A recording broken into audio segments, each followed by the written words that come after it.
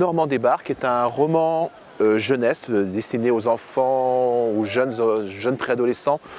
entre 9 ans et 16 ans. Donc c'est le fruit d'une collaboration entre moi-même, Gilles Pivard, et Pierre Efratas. Pierre Efratas est un romancier originaire de Belgique, plutôt spécialisé dans les romans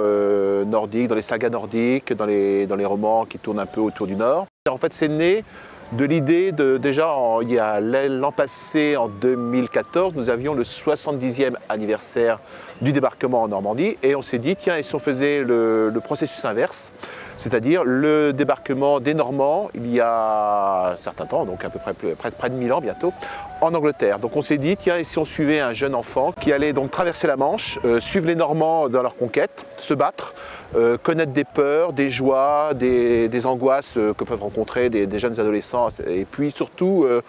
bah, c'est-à-dire en fait suivre ce, personnage, cet Arnoux, ce petit Arnoux, et euh, le faire débarquer en Angleterre. Donc on voulait avant tout que notre, nos, lecteurs suivent, euh, s'identifient à, ce jeune Arnoux, qui a une petite amie qui est restée en Normandie d'ailleurs, qui, s'appelle Mao. Et on voulait que le, le, lecteur suive pas à pas notre petit Arnoux jusque sur les plages anglaises.